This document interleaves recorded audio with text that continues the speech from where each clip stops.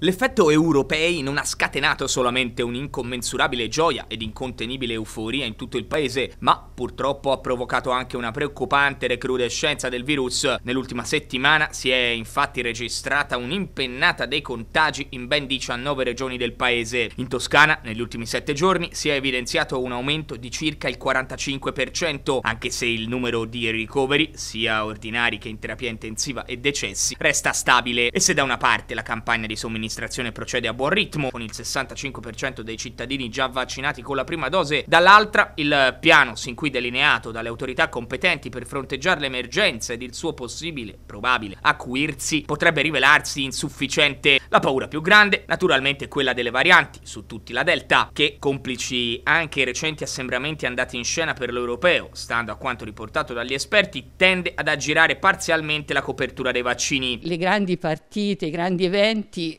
frequentati soprattutto dai giovani eh, che non sono ancora vaccinati e che quindi possono veramente essere a rischio di contrarre l'infezione e soprattutto anche di trasmetterla l'infezione. Anche dall'Agenzia regionale di sanità fanno sapere come sia ormai evidente il fatto che ci si trovi di fronte ad una tendenza di aumento dei casi da inizio luglio. Il fenomeno riguarda principalmente le prime decadi dai 10 ai 29 anni ed è abbastanza analogo a quello della precedente estate, solo che stavolta succede, contrariamente alle previsioni, con un mese d'anticipo.